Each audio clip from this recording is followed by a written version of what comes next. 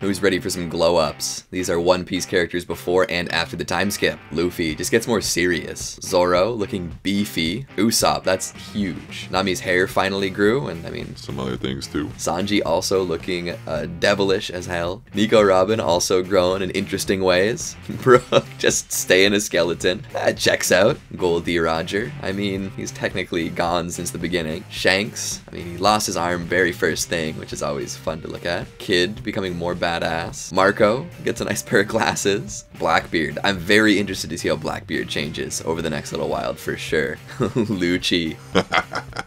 Smoker looking absolutely insane. Some great form on that cigar smoke. Garp's got grayer. Sengoku too. Ah, uh, Vivi. Definitely a nice little glow up there. And Koby, that's too funny, right? The like like like the throwaway character into a guy who's worthy of being a main character. Make sure you subscribe to the Amagi for more.